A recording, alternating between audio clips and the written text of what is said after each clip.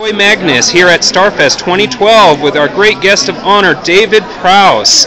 How are you doing at this event, sir? I'm very well, actually. I've been very, very busy. Had a very busy day today. Very- quiet yesterday, busy today.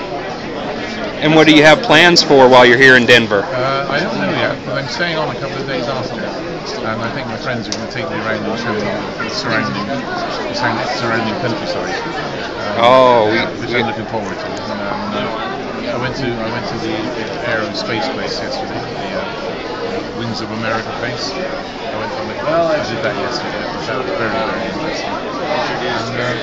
And, uh, and then, I, then I'm, I'm, I'm staying on until probably Thursday. And I'm going off to um, Calgary, another big convention in Calgary next weekend.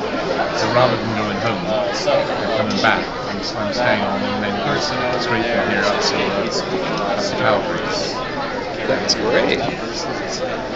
Any other big plans for the year? Any more conventions lined up the rest? Almost every weekend.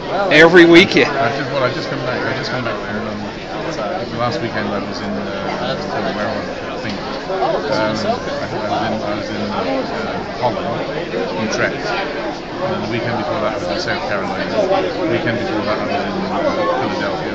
The weekend before that I was in uh, Düsseldorf. The weekend before that I was somewhere else. And so, so it goes on. It's, it's amazing.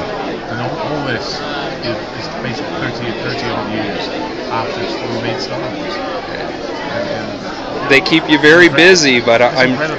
yeah. I'm sure the fans appreciate it. There's so many folks that would spend their whole life hoping to meet that person that they stare at time after time on this big screen going, you're the greatest character ever. So, and be able to meet folks that And you, also, people people were very interested in all the, the other films, as they do, especially things like Copper and the horror, the horror movies. The Frankenstein, yeah.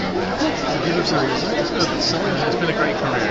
it has. And I've gone from, I've gone from being registered as a crippled child when I was 13 uh, to be a Mr. Universe contender. I was British heavyweight weightlifting champion. I did the world champion, the world weightlifting championship, the Empire.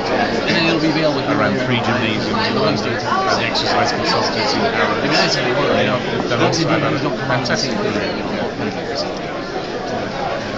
Well, thank you so much for your time. I'll let the fans have their chance. Thank you so much for sharing with us.